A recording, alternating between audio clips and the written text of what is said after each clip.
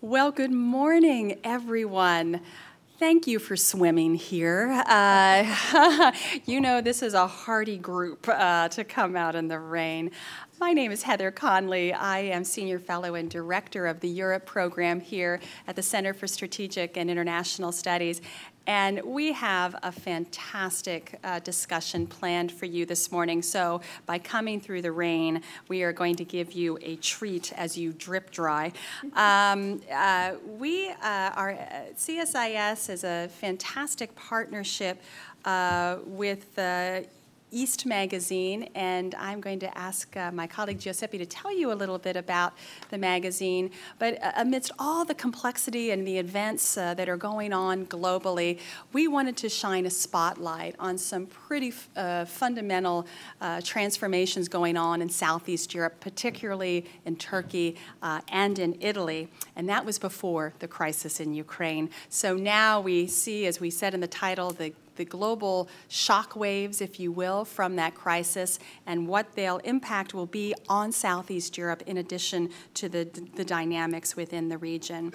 And evidently, the Wall Street Journal must have had the foresight, and knowing our discussion this morning, because there's a very provocative article entitled, Can Italy Find the Way Back? So, again, I think we are so topical uh, and so timely today. Let me briefly introduce our three panelists, and then I will get out of the way and let them them share uh, their insights with you. And again, first, we are so delighted to welcome Giuseppe be Scognamiglio. How did I do? Oh, God bless. God bless. I told him that if there was one thing I was stressed about, it was pronouncing his last name. Uh, Giuseppe, and then he gave me my permission to call him Giuseppe for the rest of the morning.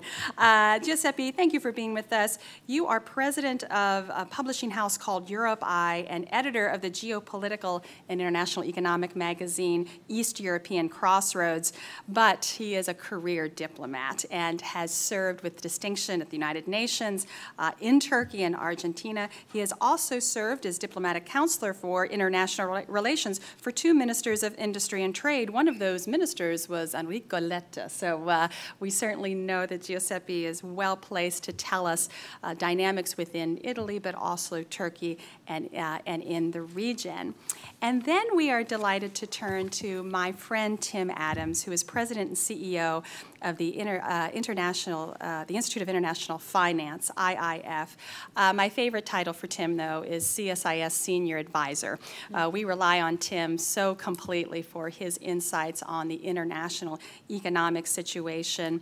Uh, Tim has also has previously served as Undersecretary of Treasury for International Affairs. He has also served as a Chief of Staff to two uh, Treasury Secretaries, so extremely well placed to tell us what are the dynamics, the the international eco economic dynamics, and hopefully he'll help us stare into a crystal ball and tell us what all of this means. Some very gloomy economic data coming out this morning about the U.S., uh, so I hope you help us understand uh, those dynamics. And last but not least, CSIS is delighted to welcome Anne Marie Slaughter, the president and CEO of New America, and I'll let her explain a little bit of that. Um, Anne Marie uh, is currently professor emerita of politics and international International Affairs at Princeton University, and we know her so well for serving as the first female Director of Policy Planning at the State Department from 2009 to 2011. Uh, prior to that, she was the Dean of Princeton's uh, Woodrow Wilson School of Public and International Affairs. So I told you, this is a lineup. We are going to learn a lot today uh, about this important part of the world, and I'm sure help put some very, uh, very transformative events in some perspective. So, with that, welcome. Thank you all for being with us, and I will turn the floor to Giuseppe. Thank you. Thanks a lot. Um, I'll try to go through uh, the 10, 12 questions that you uh, put on the table. Um, being brief at the same time.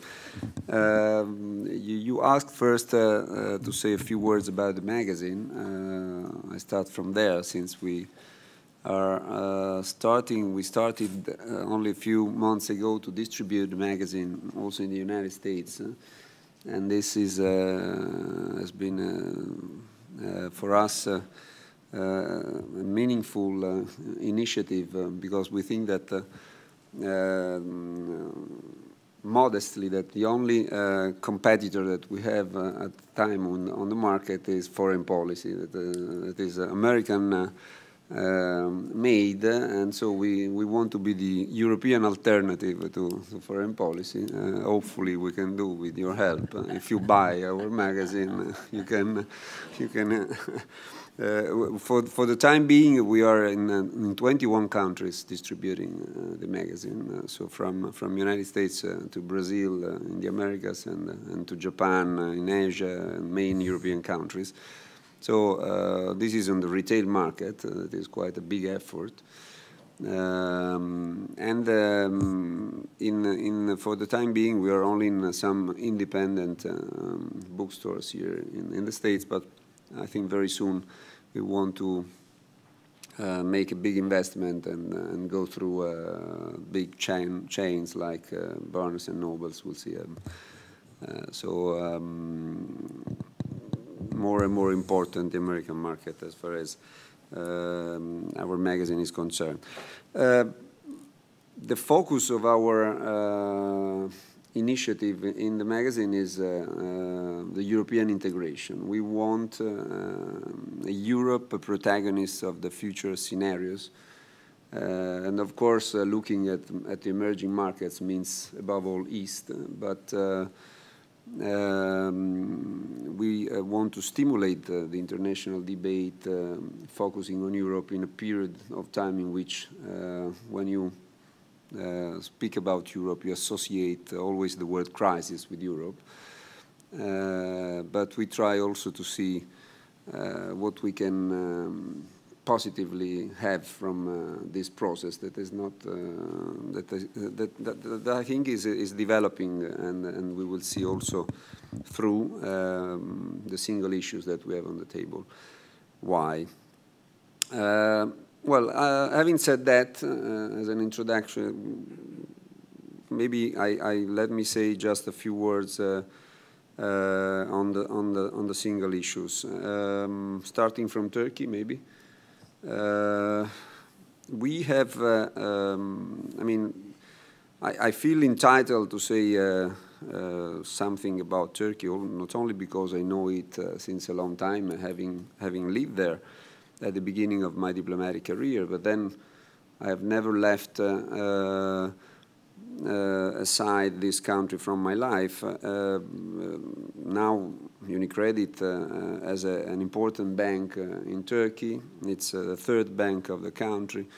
Uh, with uh, almost 2,000 branches around and uh, um, uh, 18,000 people uh, in the working employees. So we have a quite a peculiar and important um, observation, point of observation in the country.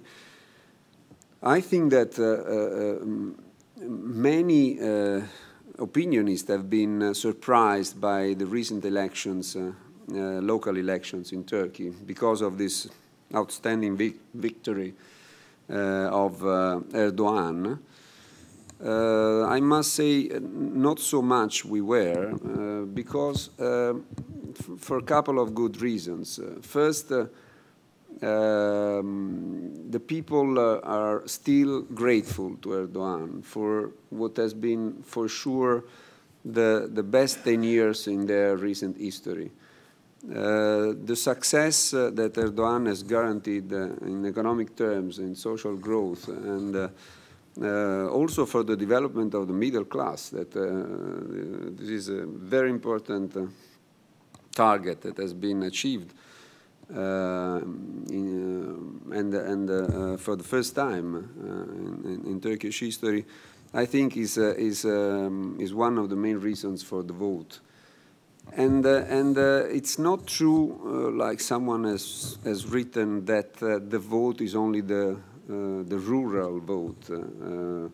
because if you see the map of Turkey, and you check uh, where uh, the opposition party, the, the Kemalist uh, traditional party, has, has, has gained um, the, the, the, cities, this is only in uh, uh, Izmir that is, yes, a progressive area of the country, but then is in Trachea that is at all uh, progressive. It's, uh, it's on the contrary the most nationalist uh, regions of the country. So the CHP and this leadership, uh, Kılıçdaroğlu, they express really something old that is not at all um, uh, able to uh, draw a, a, future of progress for the country. So there is no alternative. This is another, this is another mm, very important uh, aspect to Erdogan and to AKP.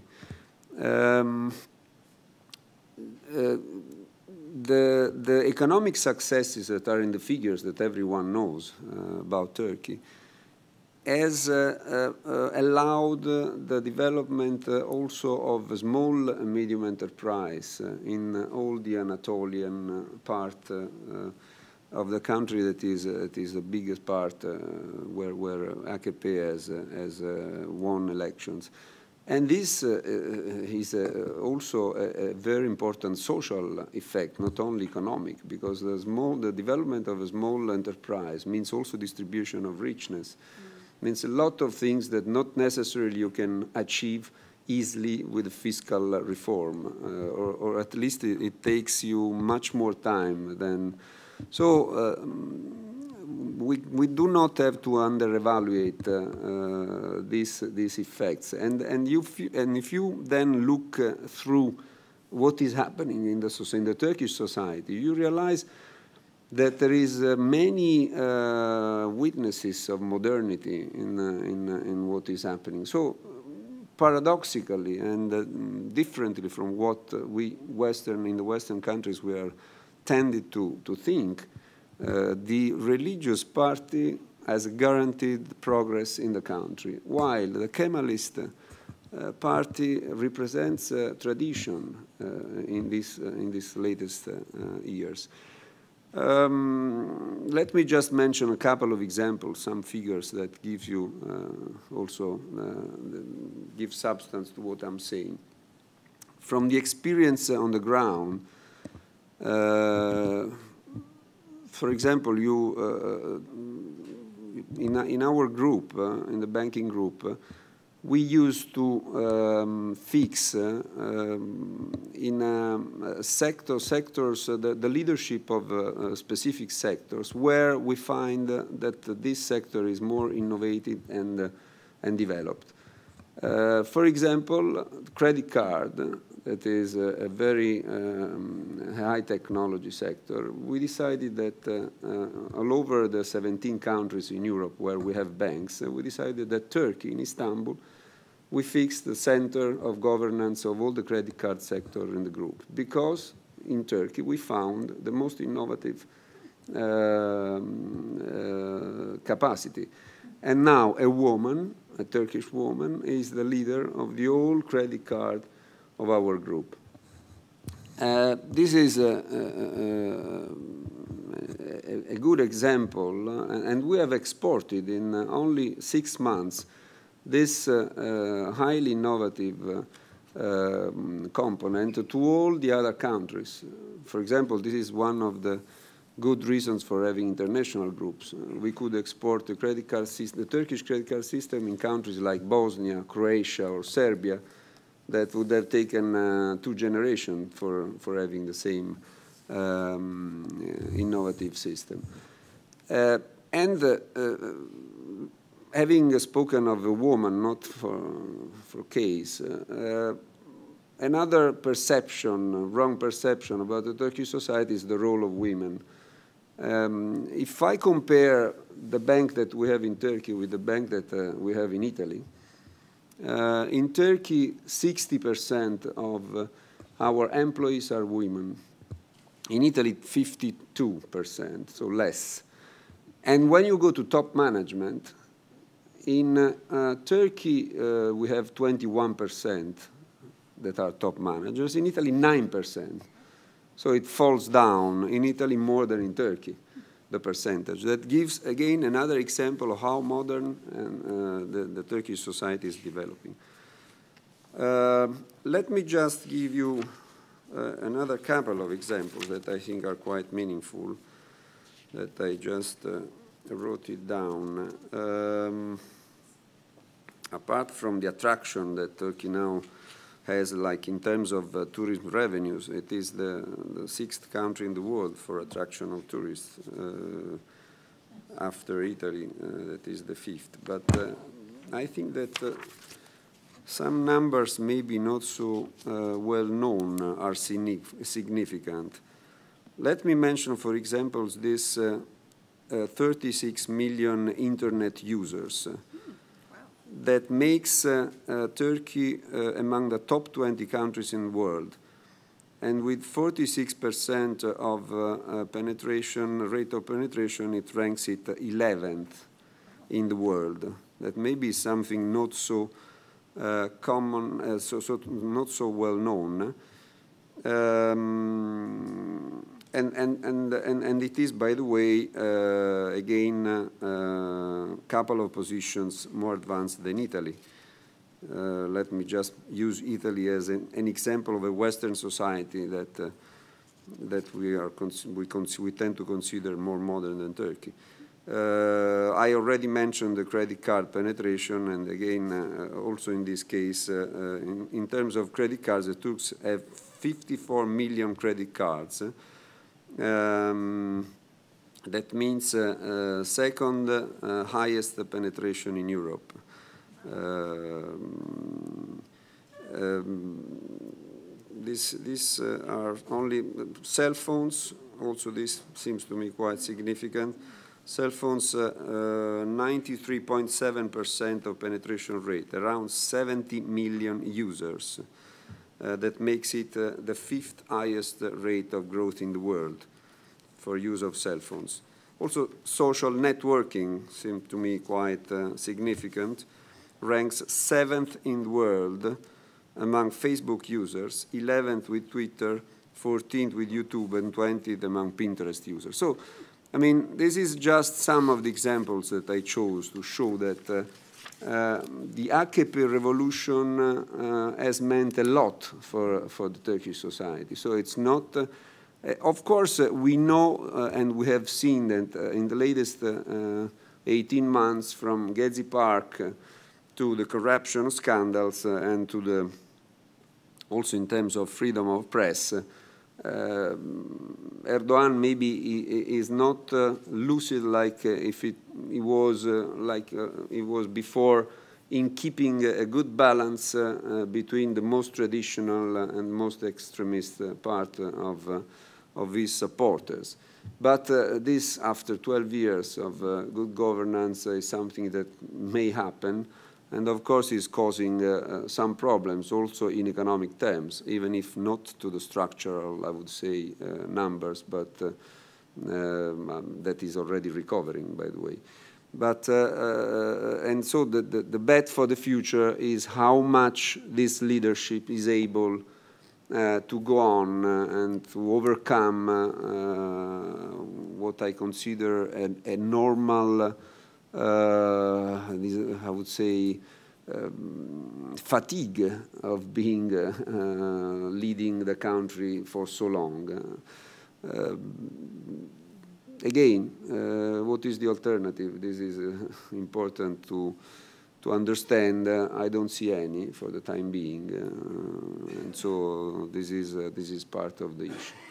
I would stop here, even if I touch only two of the three or four questions that you put, but I think we will have possibility to, to say something later on. Well, thank you, Giuseppe. We definitely want to circle back uh, to you on, on, on Italy. I think number one, foreign policy. David Rothkopf, look out.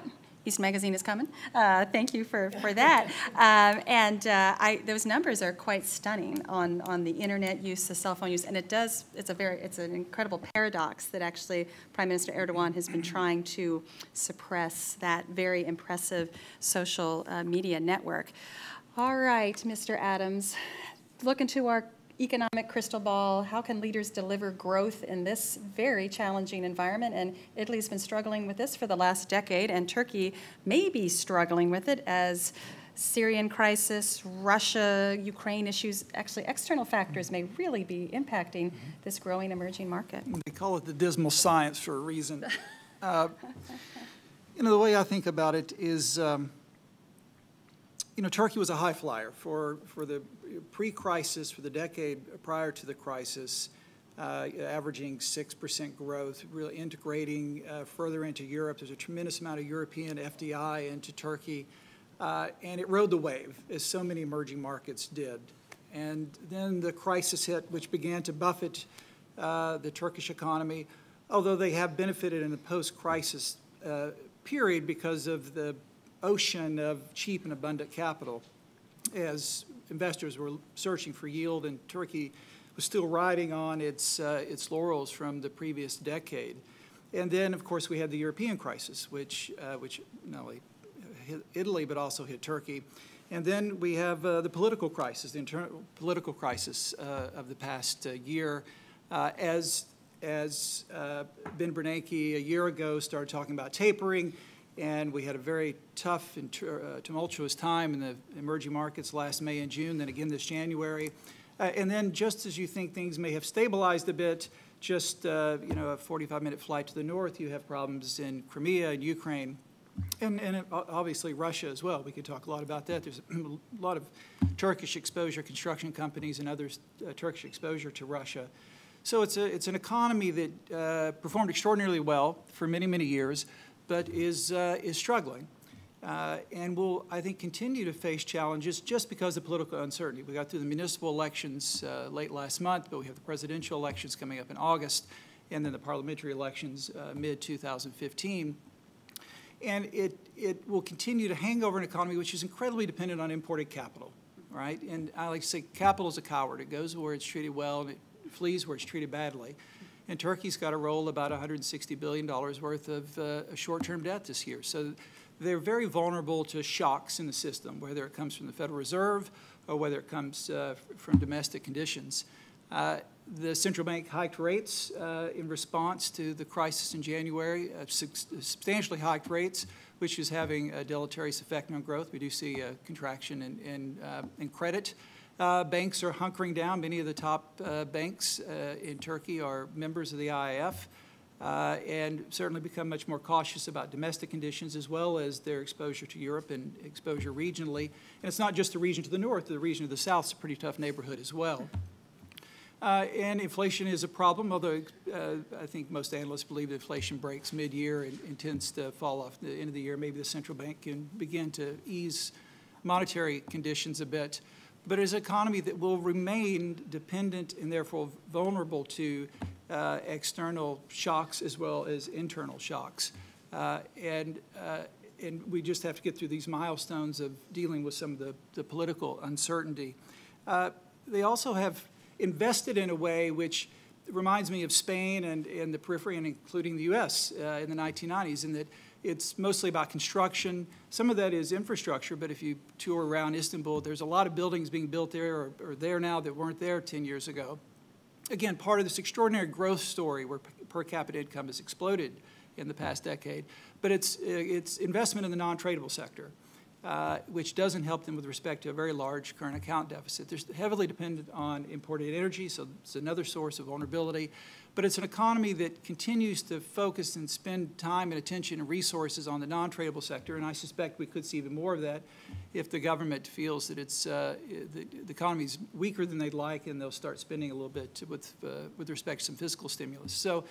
Uh, that's a problem because it's tough to deal with external imbalances if you're not investing in the export capacity of your economy. Uh, and as we learned in the U.S., with a massive amount of investment in housing, or in Spain, uh, eventually you have to find ways to earn income to pay off your, your external debts.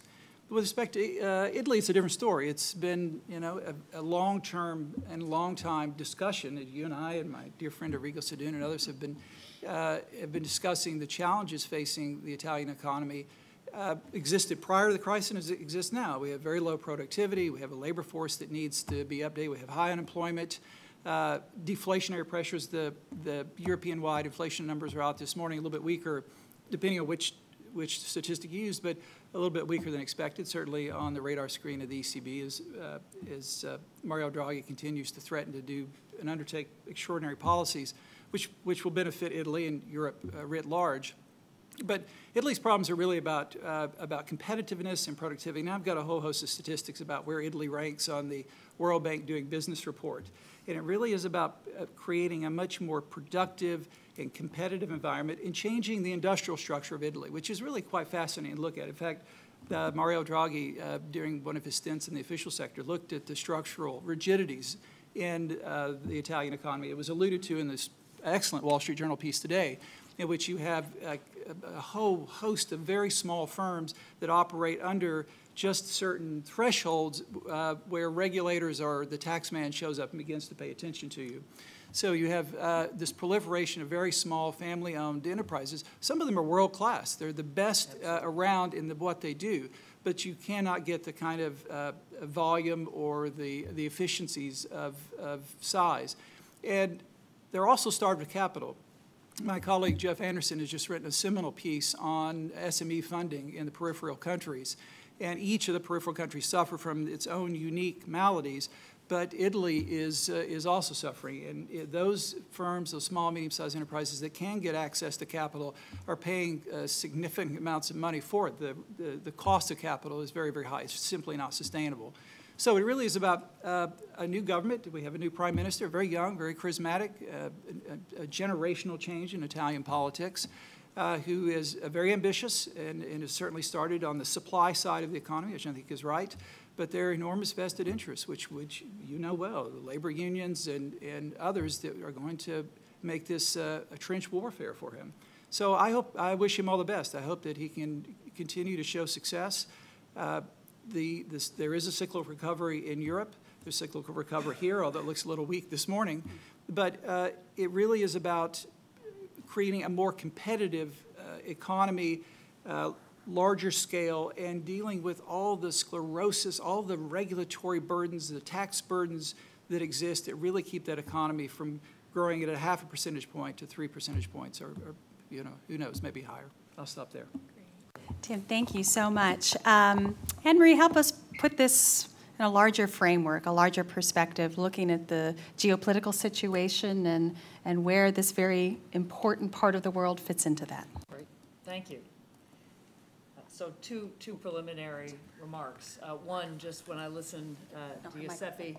uh, Yes, thank you. Uh, When I was listening to Giuseppe, I was remembering uh, when I was in the State Department uh, on my first trip to Turkey, and I met uh, with the two business uh, associations. One is TUSIAD, the traditional secular, you would say, allied with the Kemalist parties, big business, uh, and not particularly happy with uh, uh, the AK Party. And then I met with Musiad, which is exactly the small and medium enterprises. And I wrote back to the State Department that this was just like meeting with Republican small and medium enterprise in the Midwest, faith, family, and flag, right? They were, they were religious. They were committed to kind of traditional values uh, in terms of, of family. I mean, it wasn't, it, it felt very familiar to me, regardless of whether it was Islamic or Christian. The point was kind of good, good traditional values, uh, and then and nationalists, uh, but in, in a kind of proud way. And so, just to, to underline your, your point, uh, it was it was very far from the picture of. Uh, you know, an Islamist party that had taken over. It felt more like red state Turks, uh, if I. um, and just a, a quick comment, uh, Tim, on your point as I'm listening to you as to how Italy will uh, rescue its economy. We are building a small house in Umbria, which we've, we've been there for 20 straight years. We finally decided, okay, we're going to build. And my husband keeps reading the paper going, any day now, it's going to be taxes on foreign owned property. so let's hope that's not, let's hope it remains uh, the fifth most visited tourist destination and doesn't alienate its, uh, those, those of us who love it. So I'm going to give you uh, three points, really, as uh, Heather, as you said. Um, looking at the diplomatic context and trying to take the economics into account, uh, but also looking uh, at energy um, uh, specifically at the end. Uh, and the first thing I want to say uh, in terms of the fallout from Ukraine is to borrow from uh, my former boss, Secretary Clinton's. Uh, one of her favorite frames is that we shouldn't be looking at either or, we should be looking at both and. And I'm going to use that to talk about Italy and Turkey uh, in particular, but actually all the parts of uh, NATO or of Europe who have close relations with Russia. Because we are looking at this as either you side with the United States and Poland and the Baltic states and Romania and you support really strong sanctions on Russia, or you uh, follow your commercial interests, particularly your energy interest, and you try to block those sanctions uh, and you make nice uh, with, with Moscow. I, I, think that's the wrong way to look at it. I really do think it has to be both and. If Russia succeeds in destabilizing, much less annexing, uh, south, so, southeastern Ukraine, we are going to see a period of instability in former Eastern Europe that is going to be very bad for everybody. It's really it's going to be bad for Russia, it's going to be bad for Europe, it's going to be bad for the global economy. So everybody has a stake in basically saying stop. Uh, and frankly, creating a combination of real pressure and a face saving diplomatic settlement that allows Putin to climb down. Because it, one of the dangers of sanctions is if we push too hard, he will have paid the cost and then he might as well get the benefit, right? Because the benefit nationally to him in terms of staying in power in Russia is to go ahead and bring in as many former, uh, many territories with Russian speakers, let me put it that way, uh, as possible. So you want to you, you want to make clear, look, you're going to pay an enormous cost if you keep going. Uh, and, and particularly, you know, he can keep people on the border, he can keep separatists there. The, the, to me, the red line is crossing to some, the, uh, some kind of an, another referendum, annexation, however he does it, because that, at that point, you are dismembering a country, and you cannot do that. We can't recognize what he already did in Crimea we, but above all, that's been done. You cannot recognize it. You can fight it over the long term. You must stop him where he is. So it seems to me everybody, Turkey and Italy, absolutely combined, particularly given their economic situation, have a stake in joining a set of sanctions that are very carefully calibrated, as I said, to say, stop now, or you are going to feel much, much more pain.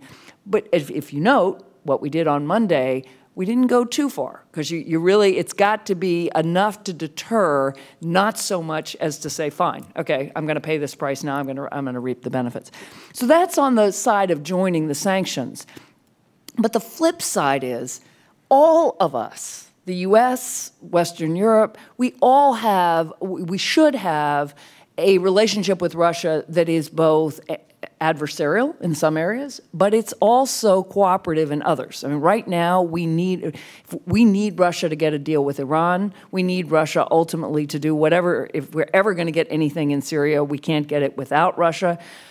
On a host of other issues, ranging, ranging from trade to climate change uh, to uh, international criminal activity to terrorism, we have to still be able to deal with Russia. So the way I look at it is Turkey and Italy are remarkably well placed to be the both and. They are the countries that they are countries that have very strong relations with Russia, as does Germany. We need those countries. We need those ties at the same time that they need to be sending a tough message.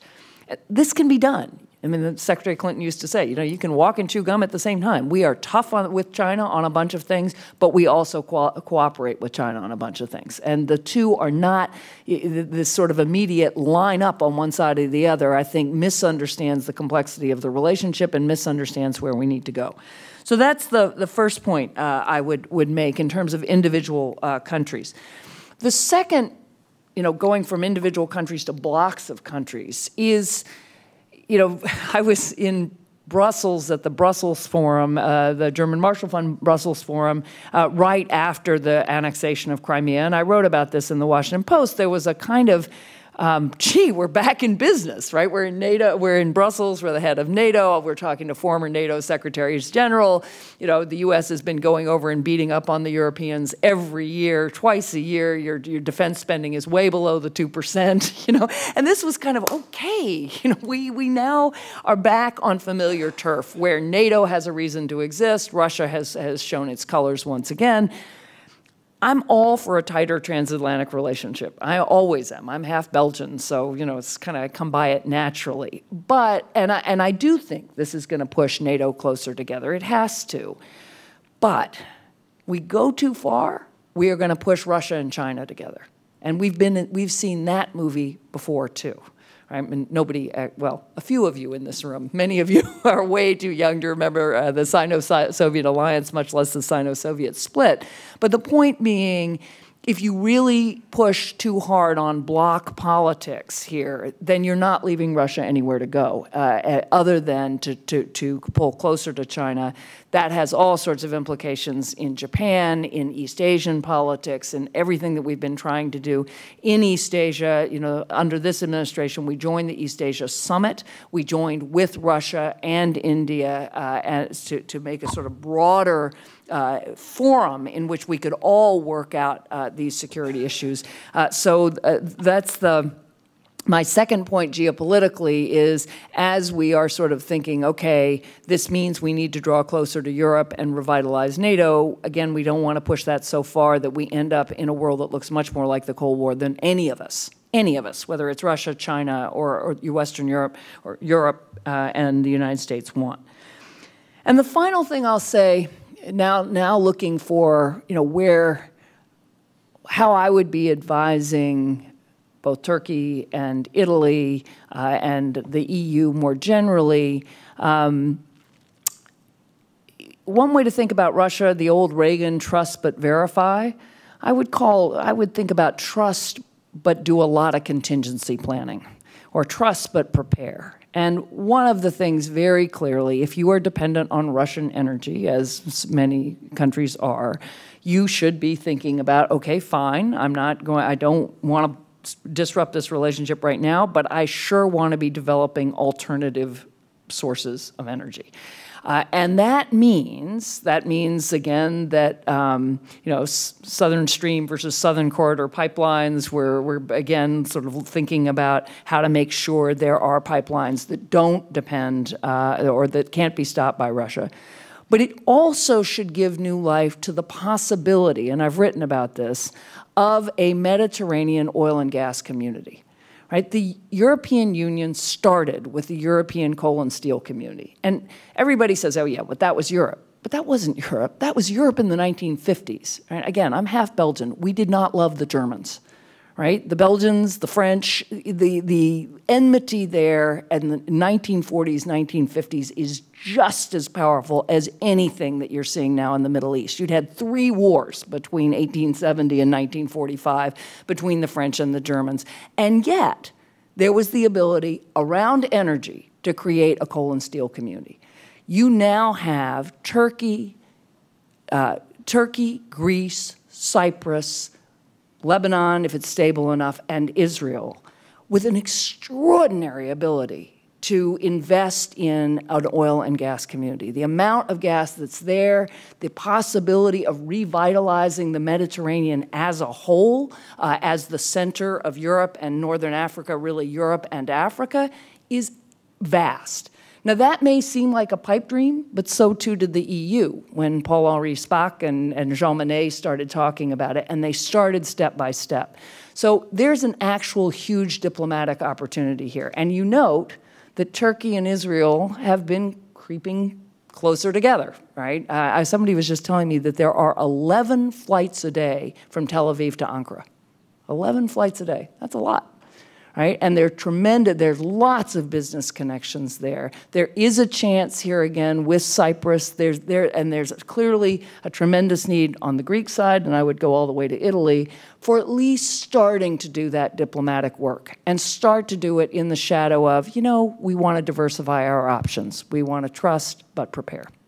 So with that sort of Israel, I mean, sorry, uh, Italy and Turkey, NATO, versus the possibility of uh, renewed uh, Russian Chinese uh, ties in ways that I think uh, would not be beneficial, and then thinking about the Mediterranean, I think I'll leave it there.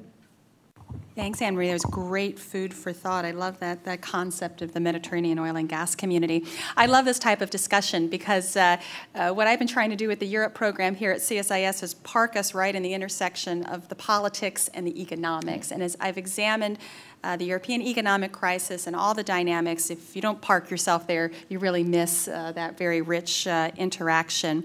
What I thought we'd do is I'll uh, pose a few questions to the panelists, and then we will turn to you, and uh, we look forward to bringing your thoughts and questions into the conversation. I would like to say, for the last 45 minutes, we have talked about the economic dynamic, and we have not mentioned once TTIP the transatlantic trade and investment. usually, we can't carry a conversation here in Washington on Europe if that, that word doesn't enter in uh, to our uh, conversation. So I, am going to just pose a few questions. I'll let you all three uh, take a take a swing at them. Uh, the Transatlantic Trade and Investment Partnership, enormous amounts of enthusiasm on both sides of the Atlantic. We've just finished the fifth round, and we're starting to fall back into our routines, which uh, we dig in a little bit, uh, Europe digs in a little bit. Um, and I think we're both feeling a bit frustrated. Um, this is big, big money is at stake. This is a very big deal geostrategically. But um, I fear, and I just would love your thoughts on how TTIP can change the dynamic. Now, obviously, Turkey now has a bilateral conversation with the U.S. Uh, on that, but how would TTIP, uh, if it's successful and if it is not successful, how would that change um, the dynamic? And then um, my second question, and we've been, uh, lots of polling data has been coming out. Of course, today's Wall Street, I feel like I'm a plug in the Wall Street Journal today. I was going to say. I'm not. Uh, the Wall Street Journal, uh, I guess NBC News had a, a, very striking poll about sort of American faith in institutions, which is dramatically low, might get that big. Uh, I would say the same in Europe. And, and next month, we have the European Parliament elections, which I think we're going to have, I, you know, I hope my predictions are all wrong, extremely low turnout. And we're going to see a rise of anti European parties that are saying, I don't want this, maybe ill defining what, what they want. So, at a moment when we need governments to reform, in Italy, in Turkey, they are meeting public opinion that is very angry and does not trust them. So, how does, how does this work? I, would love, uh, Giuseppe, your reflections on how the outcome of the European Parliament elections, I think some commentator, some analysts believe that uh, Prime Minister Renzi, actually, in anticipation of some volatility on the European Parliament elections, actually had to push forward uh, um, in, in the shakeup in the party to actually try to get ahead of that volatile political moment. I'd welcome your thoughts, as well as you know, Tim and Anne-Marie, the faith in, in institutions and in leadership. There were some very sobering poll numbers for President Obama in foreign policy that if you have some reflections, I, I would be grateful. And then my last question. Um, I just came back from Estonia several days ago. So, Anne-Marie, I have, I have I, uh, the Baltics are ringing in, in my ears right now, and I can't tell you how sobering and serious the situation uh, is uh, as the Baltic states and Poland look after it. The one issue that came creeping back into the discussion time and time again, and I pose this to all three panelists because I think it is there, uh, and we, we're not talking about it, is Russian influence in Europe. And by influence, I mean the commercial influence. Uh, one colleague gave me a statistic I had not realized that uh, Rosneft owns 20% of BP. BP is the largest payer uh, into the European, UK uh, uh, pension funds if the, you know that's a very powerful point. The Hungarian government just signed a $10 billion euro credit line for nuclear power plant in, in, uh, in Paks. We see political party influence, NGO money. There's a lot of money, and I think with that money brings influence, and that is going to be a complicating factor when we talk about, um, you know, the, the punishment, if you will, about what has happened in Ukraine. And I just welcome reflections. Uh, I, I, often get asked questions, do Americans watch Russia today? Do they watch RT television? That's a moment of propaganda, and we've seen how powerful uh, President Putin's uh, propaganda is. So with those three very easy, very simple questions, uh, Giuseppe, let me turn over to you. You can, you can whack away at those. I'm helping you guys think your questions, so be ready when we come to you. Okay, thank you. Um, um, let me also make a, a, a very brief comment on uh, what uh, has been said before in Italy, since uh, I think I, I, I, I, should be entitled to say something. Um, uh, because it, it's, uh, it's, um, it, it, must be clear that I think that Renzi understood one thing that was not clear to his predecessors, and that is that uh, the real match that we are going to, to play and hopefully win as a, as a country, but he as a leader, is not on the economic policy. That doesn't move anything. In the, in the budget uh, law that is now under discussion, 10 billion euro don't change anything in the country. If you put on the enterprises or if you put on the people uh, low salaries, doesn't move anything. What means uh, is the structural and institutional reforms. That is exactly. the key point that you were rightly underlining. That means the competitiveness of the country. Because if he manages, and he did understand that, the, to change something and gives the impression to the markets that we are able to uh, facilitate the decisional process in this country that has not moved in the latest 40 years, uh, then it would change something because the 300 trillion euro of liquidity that are going around the world that don't stop in Italy never, ever, maybe could stop. And this would change something. Um, let me also say a word on the cost of capital, because this is important as well in, in, in the economic uh, uh, framework in Italy. I don't think that uh, to come out from the crisis, uh, we need uh, to focus on the cost of capital. I think that the real issue is a, an issue of uh, industrial policy. We have our the Italian enterprises average, they are exposed to banking debt for 80% of their funds. This is not sustainable any longer. In the United States, is exactly the opposite.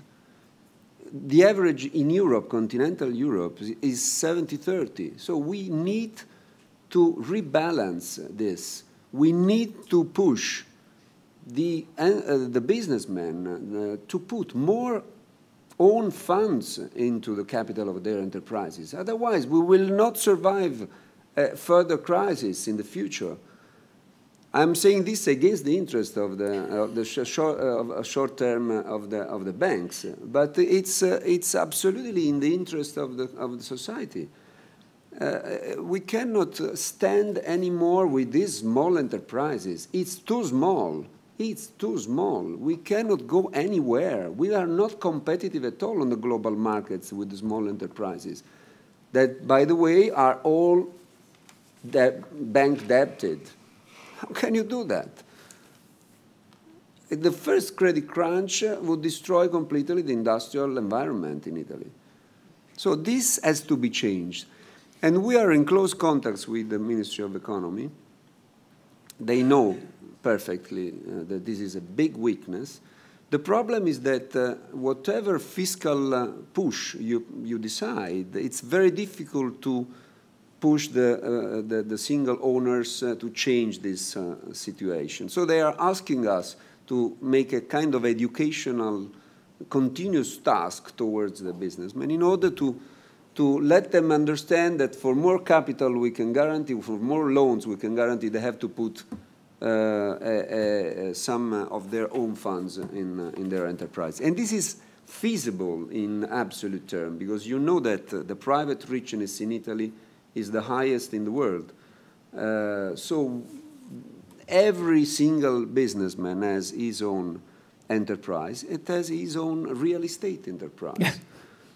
that is, we have the productive richness that is the most taxed in Europe, but we have the unproductive richness that is the least taxed in Europe, at least until the IMU uh, uh, tax uh, was introduced. So we have to, it's very simple, I mean, it, we have to switch some taxes from the productive to the unproductive and push the businessman to put the money to sell one, one uh, uh, real estate asset and to put that money in his company. Until we don't do this, we will never solve the problem. And if we speak, if we go on with, with uh, uh, the discourse about the cost of the capital in terms of banking, we do not focus on the real problem in our country. Sorry, uh, but I had to say that. That's great. About, uh, because because, because uh, it's easy, but at the same time it's complex. so, um, sorry, Ukrainian case. You, you also mentioned that, and and I am I, I cannot miss to say a word on that. Since we, again we have a bank in Ukraine, mm-hmm. 6,000 people, uh, 400 branches, of which 20 are in Crimea. Well, I must say were in Crimea because we were forced to close, of course just because of lack of liquidity, because we were operating in hryvnia, but we couldn't transfer liquidity from Kiev. Uh, the Russian authorities are asking us to operate in rubles, but uh, I mean, uh, we are in a strange transition time, quite complex to manage. Uh, and we have a bank in Russia uh, that is uh, the first foreign private bank with 2% of the market. Not much, but still, in a big country like Russia means something. Um, I think that uh, whenever we speak about Ukrainian crisis, everyone is asking about Putin. That I'm not sure is the center of the problem, especially if, when, if we speak about the, the causes of the crisis. Now, maybe yes, because now, I mean, yeah, on the ground, close. But when we, if we go back to the causes, and this is important to go because otherwise uh, we miss the strategy uh, of how to uh, come out from this crisis.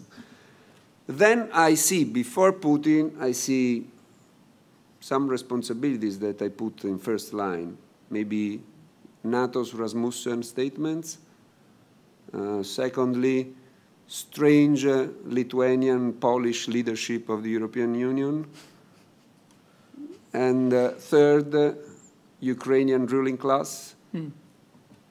And then, finally, Putin, I would say, uh, I would put in, in fourth position. Now, uh, to just to be short and, and, and constructive, uh, the sanction policy is, of course, key, but uh, is key if we have in mind what is our strategy, because it cannot be the target, a sanction policy. A sanction policy can be a tool, a mean to reach something it's strange not to read so much about what is our final target. I personally think that uh, uh, part of our target is already in the Geneva agreements because the fifth point on the constitutional reforms is key mm. to calm down uh, the situation about uh, the uh, uh, more responsibility to local authorities. And then we should start speaking about the neutrality of this country. That is not a scandal. I mean, uh, we have used in the past uh, for uh, countries like Austria. Uh, maybe we should recover some idea. I don't know, uh, update it maybe. Uh, I don't know what, but but but it's. what has been missed until Geneva, it has been to sit down around the table and discuss about the issues. I understand that there is a, uh, sometimes also the idea that uh, why uh, the young Ukrainians should condition their future to uh, talks with Mr. Putin. Uh, but I also was surprised to see Mrs. Ashton uh, or Mr. John Kerry offering coffee to Maidan uh, young people that were mixed with other strange people that uh, were not exactly the, the future hope of, of democracy in Maidan Square. So I think we, we really can find a mediation solution um, sitting at, around the table. The sanction policy, I agree with Anne-Marie, is necessary and is, uh, uh, in, especially if it is well balanced, like it has been until now. Um, so I feel that, uh, just to make an example, if uh, the sanction policy uh, has as a target Rossiya Bank, uh, that is a small bank that has among its clients all the oligarchs that are supporting these riots, that is perfectly targeted. Very differently is, is if uh, it uh, goes towards uh, the major banks in, in, in Russia, like Sberbank, Nestor Bank, that are in, involving all the people, then here we risk to stimulate some nationalist reaction that I don't think is in the common interest. So, uh, but I think again that uh, this has been uh, perfectly uh, organized until now. I also had a meeting a couple of weeks ago with Shuvalov, the deputy premier uh, in, in Berlin, and he himself, I mean, was very happy with the American approach, uh, a little bit less for the European, because he said, I don't know whom to speak to. And, uh, and uh, it depends on what nationality he is that it changed completely the, the, the, um, the, approach. So um, I would leave uh, the TTIP to, to the American friends because I think that uh, it's, uh, the ball is in their field, uh, frankly hmm. speaking. So I, I, would prefer to listen instead of saying so. Thank you, thank you, Giuseppe. Tim, Anne-Marie? Uh, sure, I, uh, I completely agree. Italy, like Europe writ large, needs to move from a mindset of wealth preservation to wealth creation, and that, that is a mindset and you need a set of policies, tax policies, regulatory policies that, that represent that change in mindset. And you need industrial policy, as you noted, that that uh, allows for economies of scale and doesn't penalize it, which is the current situation. And I agree that you need equity capital rather than uh, debt uh, investment, uh, but you need capital markets to do that. And right now, capital markets don't exist. But we're all for it, and we'd love to see capital markets develop in Europe and generally, and, and Italy specifically. On TTIP, the challenge is, uh, one is that the financial services is not a part of this conversation. So you've just written off an entire industry that would love to see uh, TTIP come uh, to fruition. The other is that no one believes that you're going to get trade promotion authority, which is certainly not before midterm elections. So why would you, whether it's the uh, Trans-Pacific Partnership or it's the transatlantic negotiations, if you're a trading uh, uh, partner or negotiating on the other side, why would you put your best deal on the table if you know the Americans are just going to pocket it, wait, and come back and try to start negotiating once again. I wouldn't. So I think that's, I don't think anything happens until we get past the midterm elections. Maybe if we get TPA uh, passed in a lame duck session, then 2015 can be a more uh, uh, a more attractive environment to get these deals done. But I don't think anything done this year. On uh, on the faith in institutions, that's there's been a long-term trend uh, that uh, Americans have lost faith in organized religion, anything big. Big is bad. Uh, Wall Street is bad. Uh, uh, professional sports, you know, mm-hmm. doesn't look so good today. Anything that's large is bad. And there is this desire for what is small and what is authentic. And if you're 20 years old and you're sitting in your parents' basement because you don't have a job and you can't afford rent, we have the highest percentage of young men living at home uh, at any time since the 1950s it's pretty hard to get excited about all those institutions which you think failed you over the previous 20 years. And it's a broader movement. So uh, how it manifests itself going forward remains to be seen. But it, it, we see it in politics, again, we see it in religion, we see it in sports, and we see it in the way in which young people think about uh, professional uh, careers. You know, the number one recruit out of Princeton is what? Teach for America, right? It's not, uh, it's not uh, Wall Street anymore. So I think there is a larger issue. And technology, I think, enables uh, social disintermediation and allows people uh, to bypass the big three networks. You watch uh, whatever show you want to watch whenever you want to watch it. You don't need someone to decide that for you. So I think those are interesting trends. On Ukraine, I'll, I'll defer to the foreign policy experts uh, here, but uh, two things. One is there are no heroes here, you know. And the idea that, you know, that we want to, you know, glamorize the, it, it, it, those who are now in power in Kiev versus the others, they're all various shades of gray. And the second point is, we in the West need to be very careful. It, it, we make decisions about how we think about other countries making decisions about themselves without thinking longer term. And we don't, we the West, and certainly Europe, doesn't want Ukraine, but it doesn't want Russia to have Ukraine. And so it's stuck in the middle. And that's, I suspect that's what the chancellor and the president will be talking about in the next 24 hours, uh, is we're, we're not going to see Ukraine or Western Ukraine or whatever's left of it uh, as a part of the EU in our lifetime, and we're not going to see it a part of NATO in our lifetime. So what is it? And what are we prepared to do for it? And how long are we prepared, certainly the U.S., to sustain financial support? And I suspect not very long, because we in the U.S. grow very bored and we're easily distracted by other events, and other events will come along. thank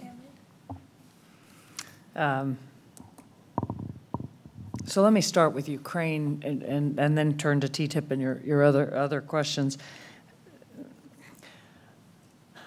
I think there's no question that there are many sources of the Ukraine crisis, but I wouldn't say there are no heroes. I mean, really, what created this, again, more than Putin, more than Europe, was the desire of the Ukrainian people to have a government that works, right? And, and they tried it once.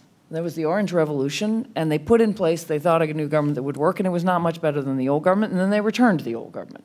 But the, what, you know, I think what people overlooked here was everyone said, well, you know, he, he Yanukovych canceled the uh, negotiations with Europe and turned to Russia, and everybody went into the streets because they wanted Europe. Everybody went into the streets because they thought Europe was a better bet of a decent government than Russia was, which I think is true, right? I agree with you. I don't think they're joining the East EU anytime soon, but I do think the countries that have joined the EU have less corruption than the countries that haven't.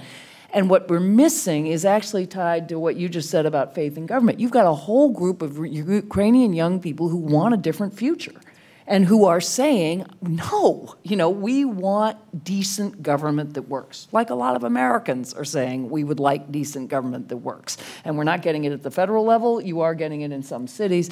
So, and those, a lot of those folks are heroes. I mean, they're next to, next to some pretty ugly nationalists and they're next to some shady characters, I grant that. But there is a core of people who are willing to die, right? I, I don't know many Americans who are willing to stand up and take uh, against bullets. Uh, and they did, and they, they kept going. And our job in all this is to, is to not let the geopolitics take over, right? That everybody thinks, oh, here we go, here's NATO, here's Russia, that, that we're back with this familiar script. But what's really going on is the demand of a population for a decent government. And part of what's got Putin so scared is that if they succeed, that is something Russians think they can do too. This is like Tunisia and Europe and Egypt, right? Where the, when the Tunisians did it and the Egyptians, who sort of see Egypt, uh, Tunisia as not nearly as good a football power and you know a sort of smaller country without any of the great history and and civilization that that Egypt had. If Tunisia could do it, so could the Egyptians. Well, Putin is very very worried uh, that if if this succeeds in getting a decent government, then you know he's got plenty of opposition just under the surface, and he keeps squelching it down. So that's um, that's where I would say that, and that's where Giuseppe I would. I'd push back. I mean, I, you know, Denis McDonough says in the White House, nothing about you without you. I think we have gone past the age where the United States and Europe sits down with Russia and decides Ukraine's future. No, not today. That's not okay. We can, it was bad enough. It was going to be Russia and the U.S. At least we got Europe in there. But it's got to have Ukraine at the table. And if Ukraine wants to say we'll be neutral, great. You know, they could. I actually think if you put that to Ukraine as a whole, you're not getting, yes, we're dying to join NATO. They, and they, but, but neither can we say, as you know, Brzezinski's talking, throwing around terms like Finlandization, that's 20th century politics. That's gone. You, you can't do that today successfully, in my view. Um, on TTIP, so this goes back to my point about Russia and China. TTIP and uh, TTP, two great trade initiatives, who's left out of both? Russia and China, right? And China thinks that uh, TTP, I support both, but they think it's a pretty clear effort to contain them uh, or to shut them out. Uh, we think, I think it's more likely that we want to set the standards with the current negotiating partners, and then we probably will open it up, up to China in the same way as with the WTO. But once again, if you're pushing, you know, we want a transatlantic trade partnership without Russia and we want a trans-Pacific trade partnership without China, think through the next steps. Um, last point, uh, point on, on trust in government, yeah, this is, this is everywhere. And this is, I, th I think, this is a much larger revolution. I, I often say that the divide between the digital natives and the non-natives, e.g. my generation and older, uh, is as great as the divide between the hippies in the 1960s and the 50s establishment. You just can't see it as visibly. They're not marching around in, in long hair and flower power and jeans, but they live in a different world. And they live in a world in which they're accustomed to being able to make things happen uh, as you point out, the, the, there's no, the disintermediation, another way to see that is if my son wants to learn something, he goes online and finds courses or information or other people who will do it, and he gets what he wants. And so they have no patience with institutions that can't deliver. Uh, and there, I think you're actually seeing that globally, and it, it's a source of a whole other uh, conversation. Uh, so, and the last thing I'll just say, Heather, because you raised it and it's very important, go to the city of London and start talking about Russian influence, right? Russia owns enormous chunks of the city of London and enormous chunks of the French Riviera and enormous chunks of nice places to live and be all over Europe. And yeah, I mean, that, that is definitely a, a, factor here. This is part of what I was saying that actually you can't go back to the Cold War. You actually want a Russia that is integrated with Europe in all sorts of ways, preferably less criminally than a lot of this money um, where, where it's coming from. But the, the U.S. cannot jerk us back to a world in which, you know, the Soviet Union was politically separate, but it was also economically separate. Now we've got something that's economically connected, more like China, and politically uh, separate. I have to say, and thank you all, it was a really great discussion. You really see corruption as this unifying thread. Yes starting with Gezi Park in some ways, sort of the corruption of forcing something that obviously uh, what those ties were. What is China undergoing right now is a profound attempt to re retain power and address corruption. Mr. Putin's, uh, how he has uh, organized his economy is so much based on corruption. Exactly. Uh, and of course, Ukraine is sort of the epicenter of that. And I think exactly the Ukrainian people—it wasn't an east west question, it was a question of corruption. Right. And that we do not focus on enough. And quite frankly, the corruption in our own societies that that has come into. So Thank you. Boy, I've got some good nuggets coming out of this conversation. I've got some writing to do. Now, let's welcome you into the conversation. Great. I see a hand. I see two hands. Oh, I see three hands. We're going to bundle four, four. hands. We're going to keep these questions short, my friends, but I want to bundle all of them together, and then I'll let you guys have the final say. So I saw, sir, I saw you over there. Please wait for a microphone. Identify yourself, your name, and your affiliation. Thank you. Yes, Clem Miller of Wilmington Trust Investment Advisors. Last year, well before you, the latest developments in the Ukraine, the European Union Troika basically attacked Russian money in Cyprus. Uh, they, there was a huge write-off of deposits of Russian flight capital. I'm wondering if you think that that might be indicative of the degree to which the European Union might actually go in terms of attacking uh, Russian crony capitalist uh, money going forward.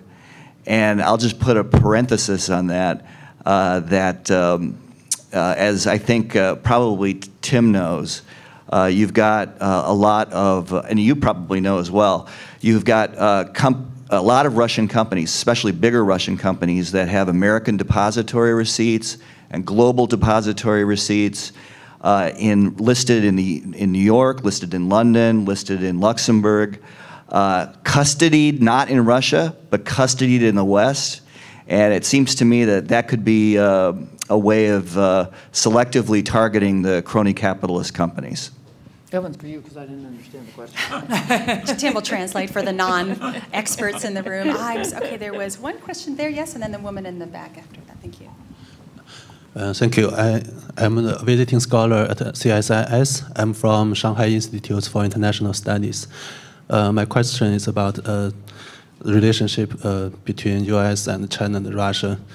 Uh, I think uh, Mary has has mentioned something on this regard. My my understanding is the U.S. is trying to enforce, enhance its security relationship with its allies, both in the Europe and Asia. to deal with the relationship with Russia and China.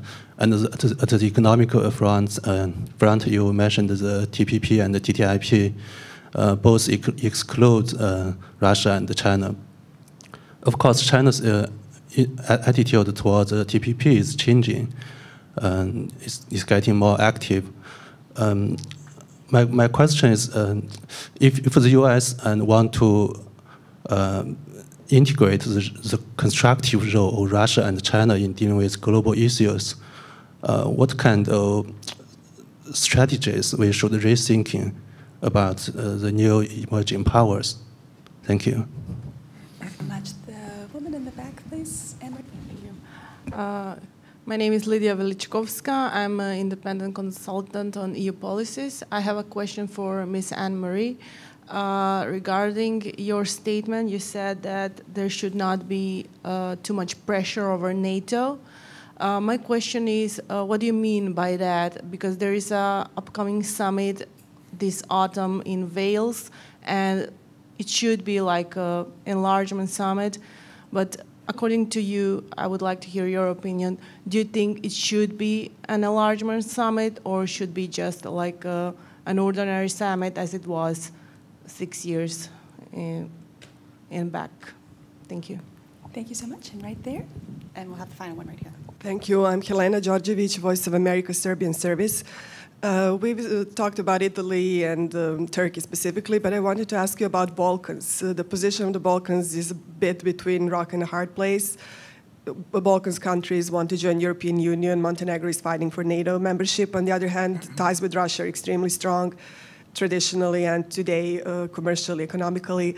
So what do you see that Balkans will have to choose sides eventually, or what would be the good strategy and balance for Balkan countries to deal in, in terms of Ukrainian crisis? Thank you. Okay, we'll take two more questions right up here and right back there. Thank you. Uh, I am Riccardo Alcaro from Brookings. Um, I have a question also for Mrs. Slaughter concerning the point she made about the fact that a sort of win-win or both end both uh, solution arrangement uh, is by far the most realistic prospect for uh, managing, if not solving, the Ukrainian crisis. I agree with that.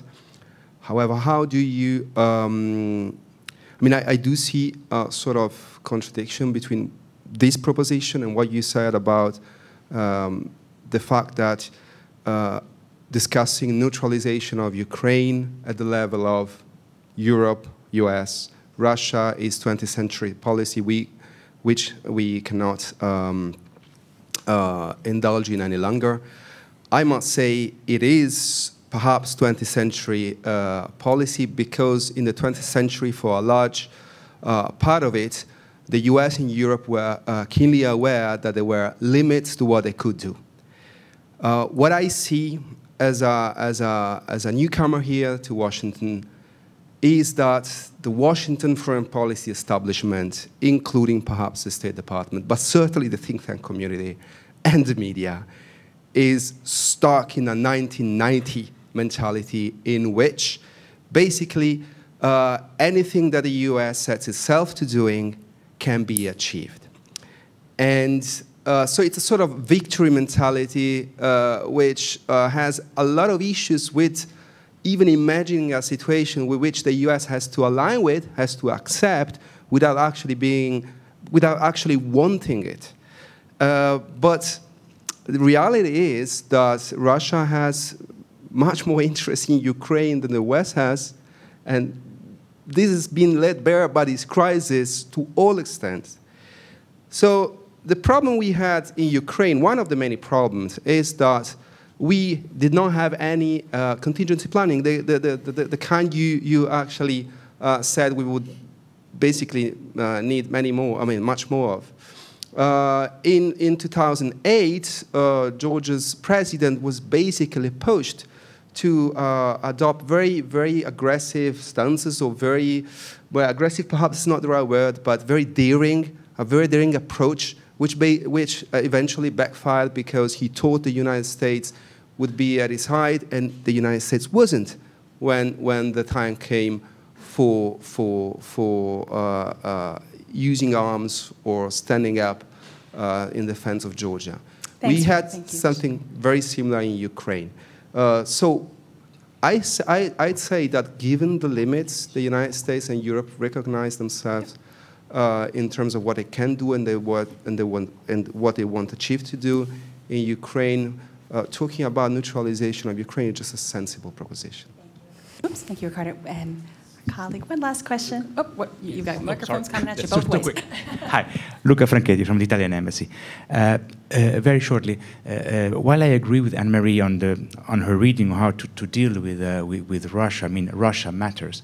But this brings me to a second, what is my question to TTIP.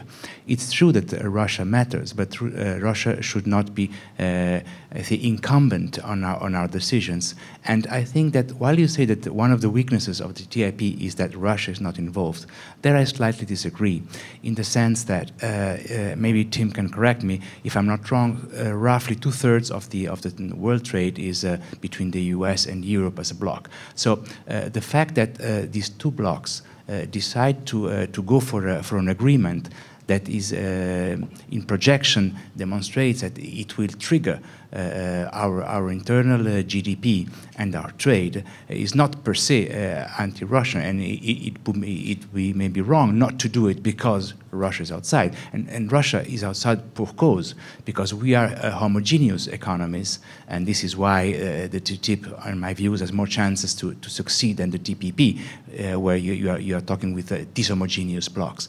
So I think that it is more than normal that the US and the EU look for a transatlantic Uh, uh, partnership that would benefit both economies. And at the end of the story, maybe also set standards. And maybe this is what worries countries like uh, Russia or China, who, uh, despite one of them being in the WTO, maybe the standards are not really uh, fully, uh, fully met. So uh, I don't see the absence of Russia in the TTIP as a weakness. On the contrary, we think it's a natural interest that both um, shores of the Atlantic have, and, and, it can even have a, a, a positive influence in the Doha nego negotiation and the future of the, the WTO. Thank you. You had some really good questions thrown at you, and your challenge is you have two minutes each to respond to them. Uh, so, Giuseppe, I'm going to start with you, and we'll pass it quickly down. I think, uh, I think most of most of the questions were for Anne Marie, and, and so I, I, I, will focus on, on one question that you did, and it was without answer at the end of the day. That is about European elections. Yes. Uh, I think it, it is important to. Um, uh, evaluate properly uh, a, a, new fact that uh, has not been uh, yet underlined. That is, for the first time in history, we have candidates of the two major political blocs that are going to be uh, chosen as president of the Commission. This means for the first time we will have uh, a form of election, even if not direct, of the president of Europe. And this will have, I think, an incredible uh, positive effect on, an, on the upgrade of the European institutions that we would need. And there is an, an, a, a never-ending debate on what would be the right way to uh, modify the treaties in order to, and this is, is possible to have because with the present crisis uh, and the, the, the, the idea of passing through approval of the uh, 28th parliament is impossible, but this is cleaning all the picture with a political decision that is forcing the institutions to have uh, a strong, finally, person leading Europe. I think that this would affect also the relationship of strength between the um, temporary presidency and the, the president of the council. So the three people that today are the leaders of Europe risks to uh, gather in only one, uh, only because of this pressure.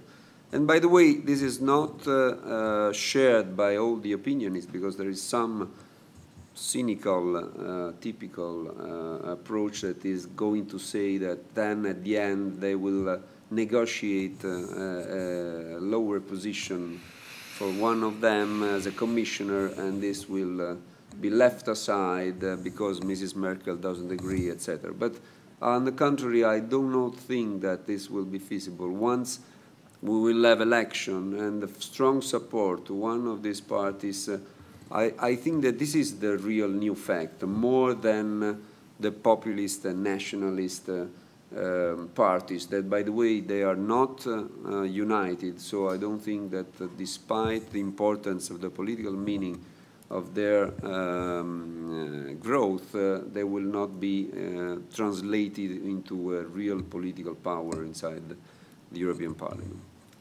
Thank you. That was a great, great reflection. Tim? Uh, sure, two minutes. Uh, Russian sanctions are coming. I suspect we'll see it uh, on an increasing number of financial institutions, maybe uh, writ large. Uh, and then from there, they go after critical industries. Uh, there'll be a question of whether they go after oil and gas, but certainly you can go after aircraft spare parts, for example, which would be a real, you know, Boeing and Airbus would be a real way to cripple the Russians. But I suspect banks are the next. And, and then the issue will be how wide uh, acceptance the sanctions will be. I, I, expect the UK will, will uh, join in, which will certainly hurt the Russians. What happens in continental Europe remains to be seen. Uh, on global trade, yeah, it doesn't matter. It doesn't bother me the Russians aren't there.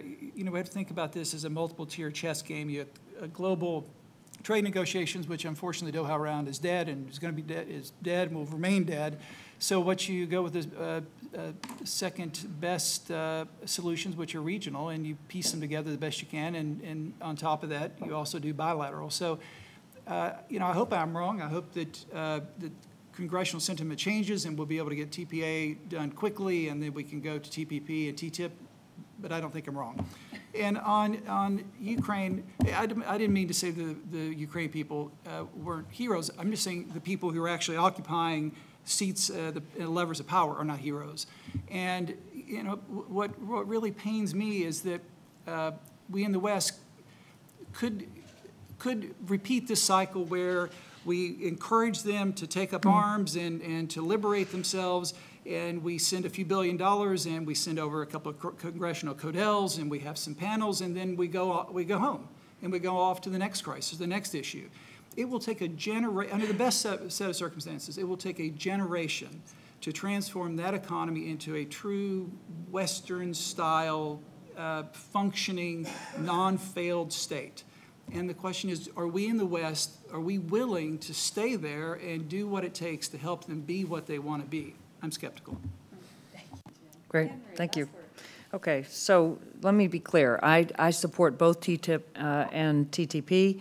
Uh, um, TPP and in their current form. But I would say from 1990 to the present, the politics of inclusion have worked better than the politics of division.